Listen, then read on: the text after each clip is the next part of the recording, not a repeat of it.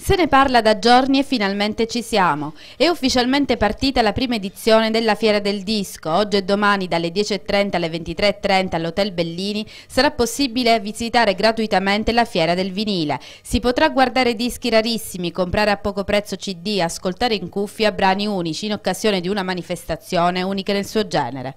Una manifestazione ideata da Ernia al Disco, società genovese organizzatrice della festa e diretta da Marco Massari e Carmine Attruia.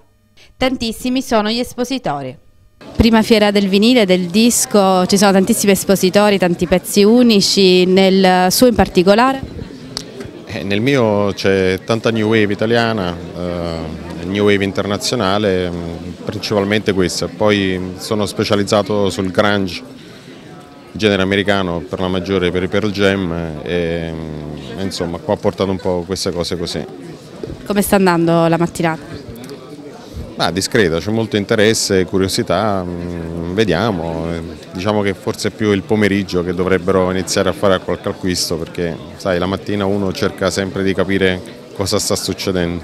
E sì, c'è qualcosa di, di raro, andiamo su qualcosina del tipo garage perché ognuno è diciamo, settorializzato, noi abbiamo delle cose particolari per quanto riguarda il garage, l'indie rock anni 80, anni 70, però girando ovviamente si vedono tanta altra roba di altri generi.